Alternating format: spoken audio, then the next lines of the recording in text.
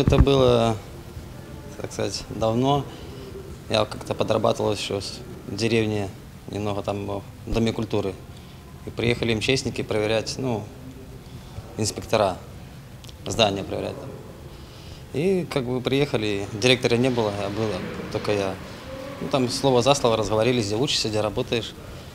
Я тогда был студентом Кулешова, первый курс поступил на физкультурный. Ну, вот он говорит, не хочешь к нам попробовать? Я говорю, ну можно было бы. И Михаил Калида попробовал. От рядового до прапорщика мужчина дослужился за 14 лет. За эти годы не только звездочки на погонах прибавились, но и бесценный опыт. Спасатели отвечают за исправность техники и оборудования, ведь на пожаре важна каждая деталь. На кону самое главное – человеческая жизнь. Это было в Кличе, наверное, такой самый запоминающий случай, когда горела вся деревня практически. Там что-то пять домов, семь сараев, но неважно. Такой обширный, мы там целую ночь воевали, как говорится. Приехали без сил на утро. Ну, что делать? Восстановились и дальше пошли работать. Отличные результаты у старшего пожарного не только по службе, но и в спорте. Как сам признается, одно другому помогает. Хорошая физическая форма просто необходима в работе сотрудника МЧС. Боевка, каска, краги, на плечах кислородная маска, на себе приходится тащить больше 15 килограмм. Технически грамотный специалист, зарекомендовал себя с положительной стороны.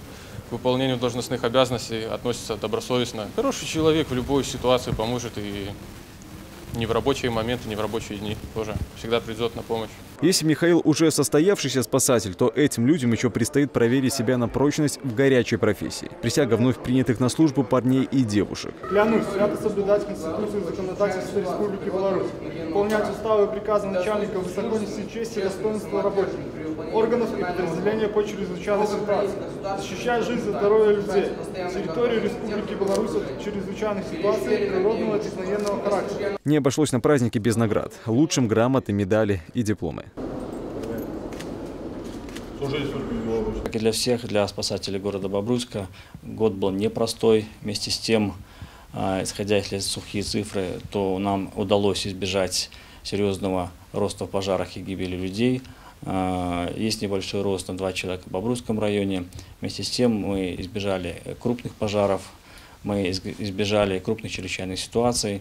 А, В целом, оценивая ситуацию в части обеспечения пожарной безопасности. э, города Бобруйска, Бобруйского района, как стабильную, управляемую. Спасатели – это мужественные, отважные и самоотверженные люди. Они всегда там, где опасно. Цель и смысл их работы – человеческая жизнь. Результат – уверенность белорусов в собственной защищенности и безопасности. Хочу поздравить своих коллег, э, ветеранов службы, членов их семей э, с Днем Спасателя, пожелать традиционно сухих рукавов, всем здоровья, удачи, счастья, благополучия, чтобы в 2021 году э, наши усилия в части предупреждения пожаров и гибели людей принесли еще большие результаты, чтобы было снижение количества пожаров и количества погибших на них. Максим Кемель, Андрей Богдан, Бобруйск, 360.